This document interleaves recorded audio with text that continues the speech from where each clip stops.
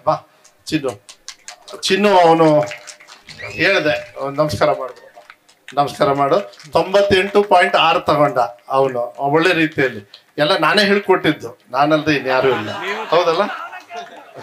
ನಗ್ತಾ ಇದ್ದಾನೆ. ಏನು ಹೇಳೋದು? ಅವನು ಸುಳ್ಳು ಹೇಳಲ್ಲ.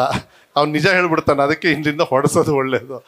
ತುಂಬ ನಿಮ್ಮೆಲ್ಲರ ಆಶೀರ್ವಾದ ಅವನ ಮೇಲೂ ಇರಲಿ. ಇನ್ನೂ ಚೆನ್ನಾಗಿ ಓದಲಿ. ನಿಮ್ಮನೆ ಮಕ್ಕಳು ಥರ ಅವರು ಕೂಡ. ಅವ್ರಿಗೆ ಆಶೀರ್ವಾದ ಮಾಡಿದರೆ ನಮ್ಮ ತಂದೆ ತಾಯಿಯವರು ಆಶೀರ್ವಾದ ಮಾಡ್ದಂಗೆ ಅಂತ ಹೇಳಿ ಒಂದ್ಸತಿ ಹಿಂಗೆ ಅನ್ಬಿಡ್ರಿ ಅವನಿಗೆ, ಆಶೀರ್ವಾದ ನೋಡು. ಎಲ್ಲರೂ ನಿಮಗೆ ಆಶೀರ್ವಾದ ಅಂದರೆ ತಾತ ಅಜ್ಜಿ ಮಾಡ್ದಂಗೆ. ಓಕೆ ನಾನು ಮಾಡೋಕ್ಕೆ ಬಿಡಲ್ಲ ಅವನು. ಯಾಕೆಂದ್ರೆ ಎಲ್ಲ ತಾತ ಅಜ್ಜಿದೆ ತಗೊಳ್ಳೋದು ಜಾಸ್ತಿ. ಅದಕ್ಕೆ ಥ್ಯಾಂಕ್ಸ್ ಅಪ್ಪ. ಅದಕ್ಕೆ ಕೂತ್ಕೊಳ್ತೀರಾ? ಓಕೆ ನಿಮ್ಗೆ ಅದೇ ಅವ್ರ ಆಶೀರ್ವಾದ ಕೇಳಕ್ಕೆ ನಾನು ಕರೆಸಿದ್ದೆ ಅಷ್ಟೇ. ಸರ್.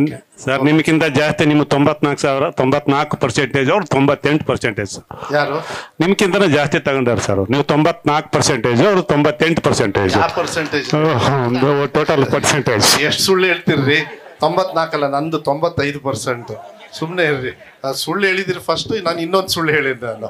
ನಮ್ಮ ಪರ್ಸೆಂಟೇಜ್ ಯಾರು ಕೇಳಂಗಿಲ್ಲ ಈ ಜೀವನದಾಗ ಹೇಳ್ತೀನಿ. ಹಾಂ ಯಾರೂ ಇಲ್ಲ. ನಮ್ಮ ನನ್ನ ಮಗನ ಪರ್ಸೆಂಟೇಜೇ ನಂದು. ಅಷ್ಟೇ ಅಡ್ಜಸ್ಟ್ ಮಾಡ್ಕೊಬಿಡೋಣ ಓಕೆಪ್ಪ ಥ್ಯಾಂಕ್ ಯು ಥ್ಯಾಂಕ್ ಯು ಅಪ್ಪ. ಸುಮ್ಮನೆ ಅವರೆಲ್ಲ ನೀನು ನೋಡಬೇಕು ಅಂದ್ರೆ ಅದಕ್ಕೆ. ನ್ಯೂಸ್ ಫಸ್ಟ್ ಪ್ರತಿಕ್ಷಣ ನಿಮ್ಮ